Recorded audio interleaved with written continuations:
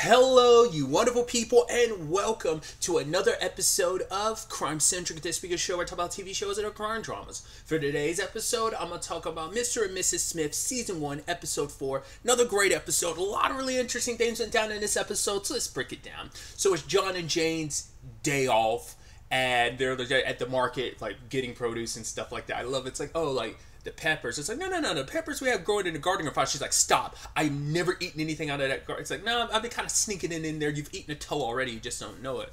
What was really interesting is they end up running into an ex of John's, which luckily the conversation, um, you you think stuff like that, well, I guess it's like, you're just going to do that. But I think it's so interesting the way the conversation is constructed. At no point does like you know John's real name come up in conversation. It's just kind of like a no, oh, hey, hey, you. So I think that's so interesting, like how they like write that right around that too, because it's like right, why would you? I mean, the fact is, I think it just speaks volumes, and I think that's just for the audience sake of they're only John and Jane to us, who they were before it's gone, because we never knew their real names. So I think it's supposed to kind of still keep that separation, but it's also just interesting because I mean, I get it. Like, why would you be like, hey, like, why would you go out, like, only like if you were injured, like if she had like a new significant other or whatever, and was like, oh my god, this is an old friend of mine, so and so, but she didn't. Um, so I just think that's so interesting when you think about it. But yeah, running into an ex, you think that would complicate things, but I guess it's like, I mean, I guess as you keep, long as you keep it a secret about how much your mom knows, because uh, that was also the thing I had last episode too of like, well, does the company not know? Do they really not know? They do a deep enough background check on you. They keep enough, keep up with enough of your progress. Maybe, maybe not. I don't know. They put you out there in the wild. You do your mission, fine. You fail, we're gonna have an issue. Other than that, just do whatever you want to, as long as it doesn't compromise you or the company. It's fine. We'll, we'll see if there end up being any lasting effects from like his mom being in the know. So either way. I thought was so interesting the moment Jane was like, "Man, I thought I can't." I was actually kind of surprised by you, but the fact of the matter is that you are totally okay with that. It's like, oh, that's actually kind of a good thing. He's like, "What are you talking about?" That she has one hand. He's like, "What? She doesn't have one hand. She has two hands. Did she have two hands when you were dating?" I was like, "Yeah." But she's like, "Wait, you don't know for sure?" Yeah, like we had sex, and I'm pretty sure she had two hands. He's like, "Really?" He's like, "Yeah, that was the foundation of our relationship." And he started like as we find out later on, she was gaslighting him. She's she's really good at that. I love that. That's she said it so. I even to the point was like, wait, for real? Did I not notice that? Rewound it. If you notice, they made a point to shoot that shoot that like you can't see her left hand. Even you're like, wait, did she not have a left hand? They purposely shot that so that like her hand is like her left hand, her right hand is always in. You can see her right hand clearly in frame a lot you can never see her left hand because it's either like covered up by like a jacket or something or just not in frame. And I was like, that's so interesting.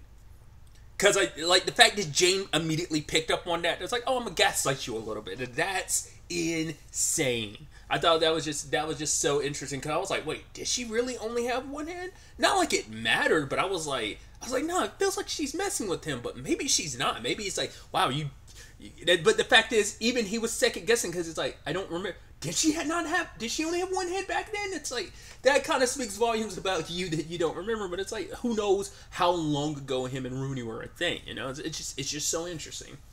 But either way, it's, once again, it's their day off, and they end up running into another John Smith. I was like, that's interesting. I was like, wait, are you? And then our John notices this John's um, card. I was like, okay. So it answers a question I had since like the first episode. I'm like, are we going to find out like did Alexander Skarsgård and Eiza Gonzalez's John Smith and Jane Smith get replaced by Donald Glover and Maya Erskine as John and Jane? But it's like no. I, but I'd also thrown out there like maybe there are multiple John and Janes out there that are completely unaware of each other. Turns out that's the case. I thought was so interesting too when John, as he referred to him, uh, is John number two or the other John was kind of like, oh yeah, first time we've ever run into other Smiths by accident, which I was like, that's interesting phrasing. I latched onto that. I was like, do you kill other Smiths or something? Are you the people they call in that take care of them? Maybe not exclusively, but they have they talk about it later on. They that uh, that other Smiths they do kill other Smiths. I was like, I thought so that makes me wonder like speaking of Alexander Skarsgård and Eiza Gonzalez, like the, the John and Jane that got killed at the beginning of this series, was that another John and Jane that were hired to kill them? I was like, that's interesting. So that wasn't just maybe maybe that wasn't maybe those were just company people but i mean uh, the other john and janes are company people but still like maybe they send another john and jane to kill them but uh like i said i because i latched onto that specific phrasing i was like that you phrase that in a very specific way of like you're the first john and jane that we've come we've run into accidentally, meaning like every other John and Jane you ran into, it was on purpose. So why would you purposely meet someone unless you're purposely set out to kill them? Like what other reason would the company send you to go after? Like have you purposely meet them? So I thought that was so interesting. But yeah, I mean, for them, it's like we haven't really seen them have any couple friends. The closest thing we got was last episode, I guess, to some extent, where it's like in, in twofold, where it's like the older couple that John was trying to be friends with. Jane kind of wasn't having that. She she isn't about the vacation friends. Whereas like they both separately kind of bonded with Parker and Gaval, so it's like it's not really the couple thing. So it's like, hey, this is like our first couple friends. They're in our world. They have their ideas about what the company situation is. Like it's like a 9/11 uh, like intelligence agency kind of response or whatever. But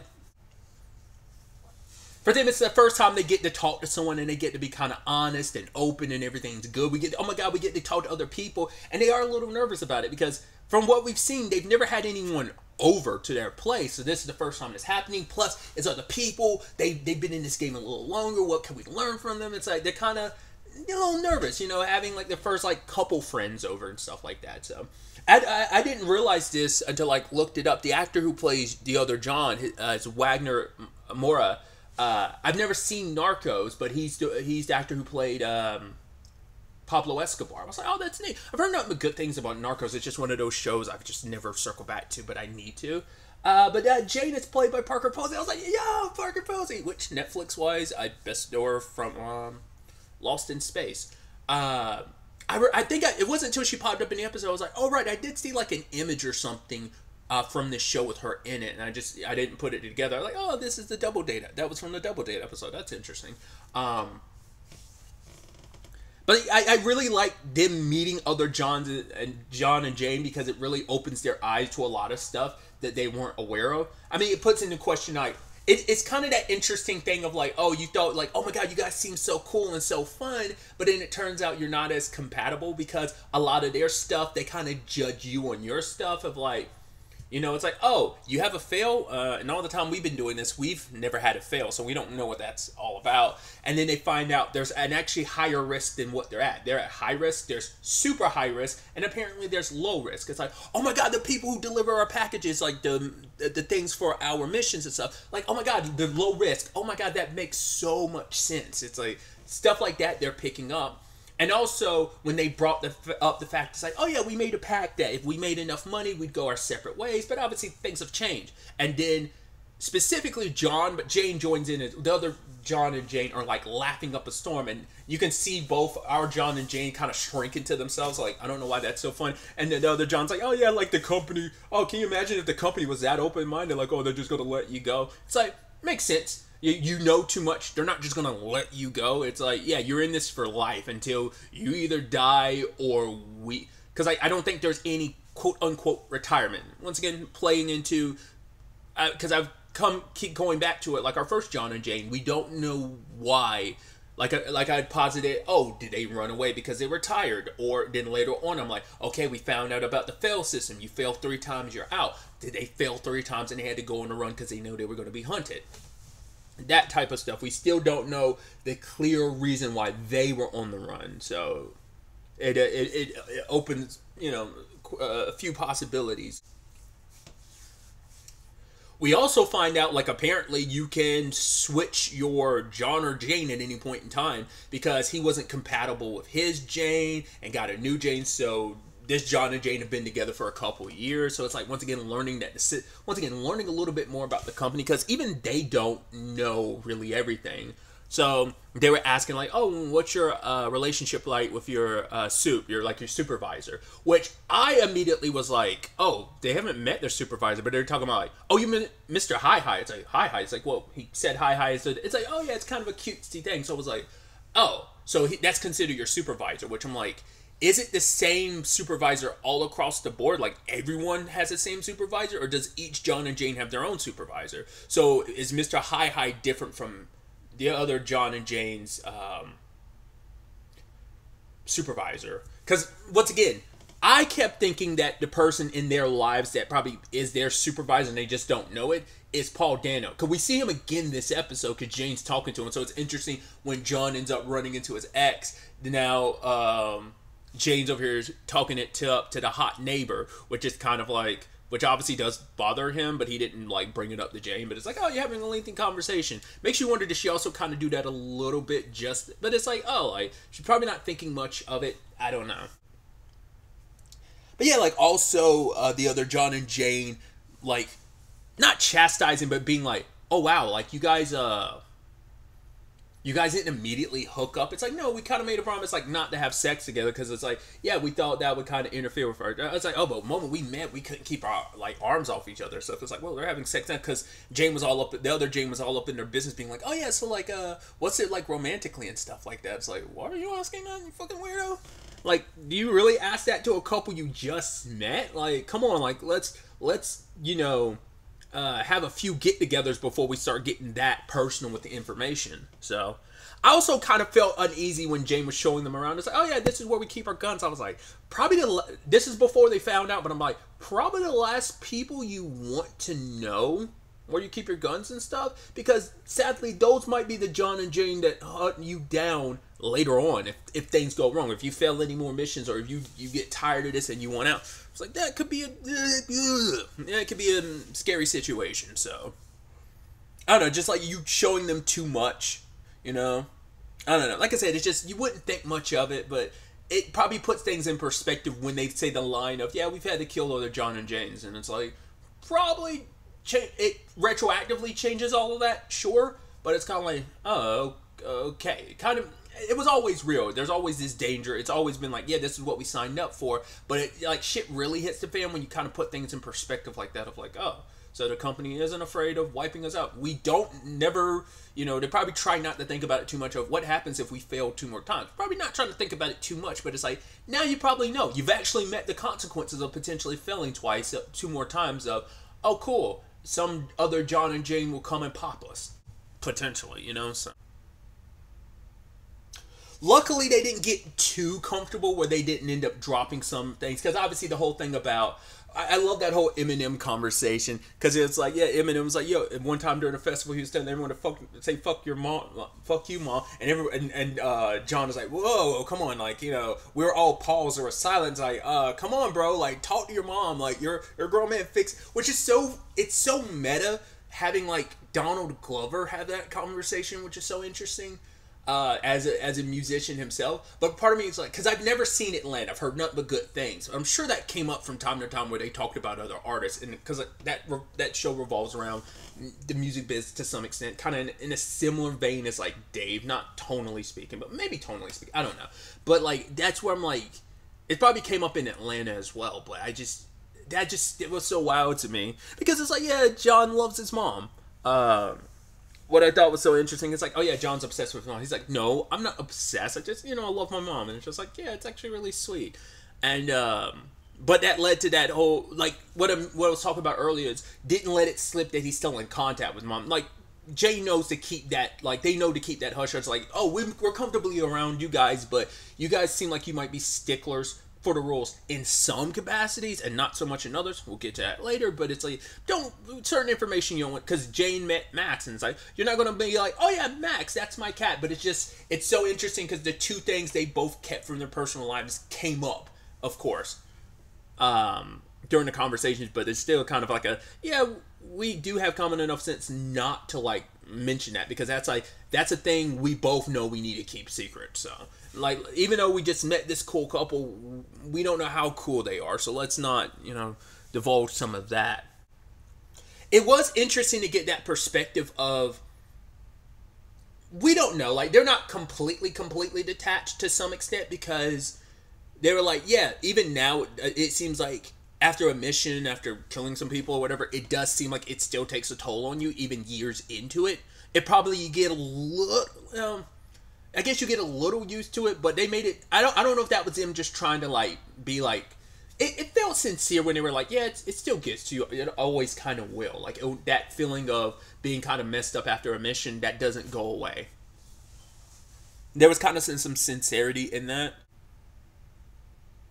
But once again, them also talking about how dangerous things could be. Where hey, there's this mission where we were supposed to break someone out and uh, out of prison, no backup, no phone or nothing. It's like, well, how'd you get through it? He's like, well, I'm gonna tell you the one thing I wish someone had told me when we started out: breathing. If you can control your breathing, you can control anything in life. So they're like, wow, that's it's powerful.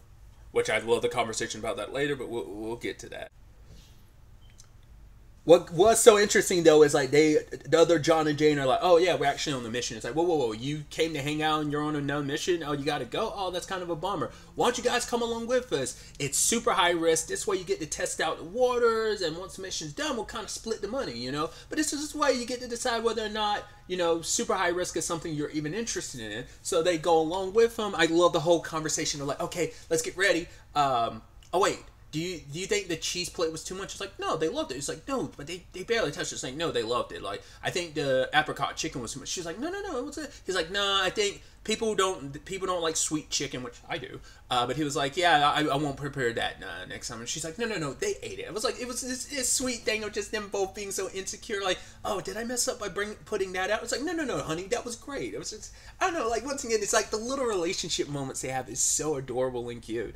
Uh, so they go on this mission. They're excited. She'd even pointed out, like, yeah, I think they're downstairs getting pumped for this mission by drink, uh, doing some coke.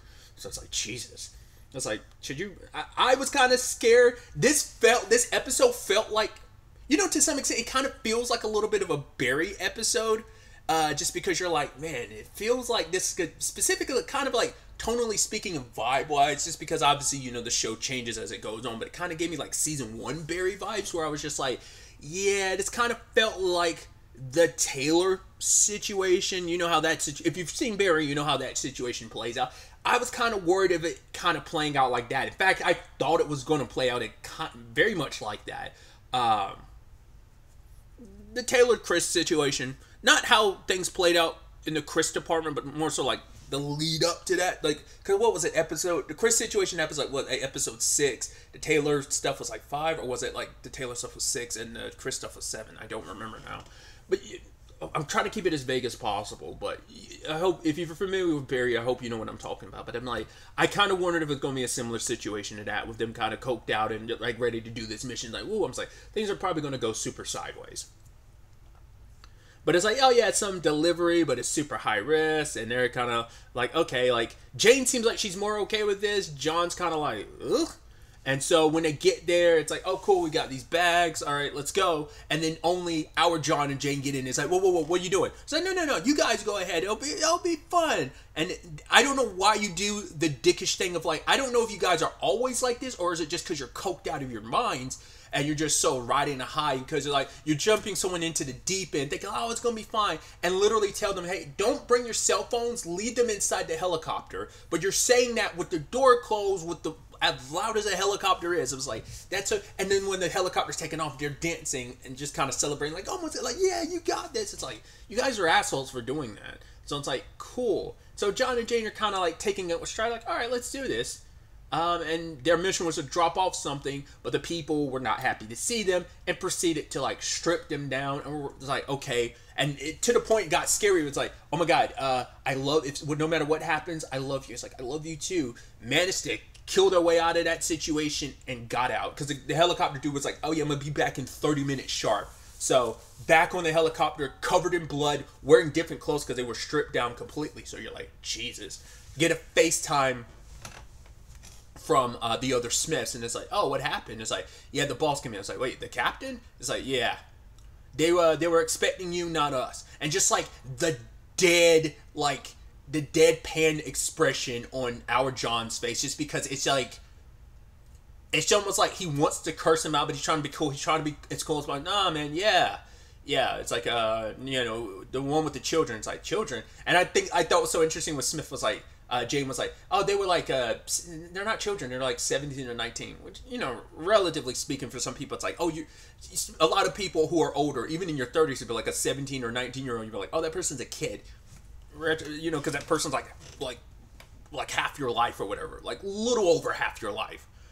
Uh, I mean, a little under, sorry, half your life. But either way, and she's like, well, it must not have been too bad. You know, kids, I mean, they're easier. Well, 17, 19 year olds, they couldn't put up much of a fight. So she, it's like, no, we didn't kill the kids. We just killed the captain. It's like, oh, what, what did he say? It's like, he, he killed the captain with a machete. And Jane's like, shit. It's like, and, but then it's kind of like, ooh, they kind of fucked that up. Like, they won't blow back that back on us. And it's like, oh, maybe we should kind of keep some distance. It's like I can hear you on the other side, but it's like, cool, it's fine. It's like, no, no, no, you take all the money. And John was almost kind of bugged by it. He's like, yeah, yeah, sure, take take all the money. Yeah, uh, we'll, we'll see you guys soon. It's like, yep. So the call ends. It's like, yep, buddy. And he's like, oh, oh, oh, oh wait, John, John, you got to hear this before we go, John. Eminem opened up uh, a restaurant called Mom Spaghetti. It's like, oh, it's coming up. He's like, yeah, man. I really want to. Yeah. Oh, I get it. We we we connected over Eminem and stuff. That's that's great. That's awesome. That's amazing to do. It's, it's not the time. It's like okay, just compartmentalizing where it's just kind of like, hey, we want to decompress after that fucking horrible situation that went bad. It went really, really bad, and uh, you up here want to talk about Eminem right now. No, I'm not about that. And so they end up getting the money, which I think is so interesting because if you look at it, Jane staring at the phone because out of anyone, she made it clear she was the one that was more interested in this super high risk. So it's just this moment of Jim's like her staring at the phone and kind of looking at him who's staring at her, and it's like I don't know. She feels kind of like, oh, am I fucked up for like enjoying the fact it's like, oh, this is a good chunk of money, but was it worth it in the end? Kind of getting thrown into the deep end. But it's also the fact is that I think it plays into the conversation they have in like the next scene or two where she was watching a video and he's like, "What are you trying to do? What are you doing?" And she's like, I'm trying to cry. I'm trying to like cry. And it's like because he had called her a robot. He was like, "I'm sorry. I, I know you're not a robot. I didn't I didn't mean to call you that." But they also had this really really oh before that like he called her out for gaslighting and was like, "Yo, I mean he's like you're not a robot because you get jealous." She's like, "I don't get jealous." He's like, "Rooney had two hands and she always has." It's like, yeah, but you, he's like, no, if you had waited, like, I would have thought you were bullshitting me. Like, if you had waited like 15 minutes to tell me that, but it's like, uh, at that time, but it's like no, you jumped on it immediately and gaslit me. That's what that's what sold the gaslighting was because you said it so confidently and so immediately. Because if you had waited, I knew you were stewing on that and it was bullshit. But uh, yeah, you you got me immediately. But then it came up the whole conversation of, you know, uh, love because she's like, you said you love me. It's like, yeah, you did too and she's like, yeah, but we were about to die. And she's like, do you mean it? Did you mean it? She's like, no, I, I meant it. He's like, well, say it. And she's like, I loved you. He's like, all right, cool. Which I was like, I, once again, it's just a little moments. I'm like, oh, that's so adorable. And it's like, I love you too, Jane. And I was like, she's like, oh god, this is stupid. And then they proceed to shit on that couple. It's like, yeah, I hate that that couple oh my god, they're the absolute worst. It's like, oh my god, why did we think they were cool? I don't know why. On that sneezing three times. Okay, like yeah, one or two you probably like um yeah, okay, I'll believe it. But the third one is like, no, you had to just because it's a whole thing. He's like, oh yeah, you know. She's like, oh god. And that third one, he probably like had to fake it. It's like, yes, because it's like, oh my god, everyone's watching the threes. I got to do it. It's like, oh, because of the accent. He was like, and they were making fun of him saying like, oh, the one thing I learned in life is breathing. And they're like, yeah, the thing we've been doing our entire life. We were listening to it like, oh my god, this is some magical sage advice. It was some stupid bullshit. I love that. I love them kind of shitting on that couple. I, I thought that was so. I mean, that's once again, it's like these little little relationship things, which I think is so funny. Where it's just like you found out, wow, why did we think that couple was so cool? They're really not. They're not cool at all. In fact, they suck. They suck so much ass. You know, it's just it, it's funny. It's just it's such a, a like such a natural blend of relationship stuff that they fold into. Once again, this like wow, crazy bombastic situation of like yeah, you kind of do some like kill people, you do this type of work, but you have these little relationship moments which I think are so feel so genuine and real and nice, and I, I, I just think that's so beautiful. I'm curious, is this the only time we're going to run into that other John and Jane, or will they run into a different John and Jane? We'll have to ultimately wait and see. But I'm excited to see uh, where the next episode ends up taking us going forward with all of this. But really, that's all I want to talk about. So the next time we meet, be happy, be safe, live life to the fullest, and enjoy it. Good day and goodbye.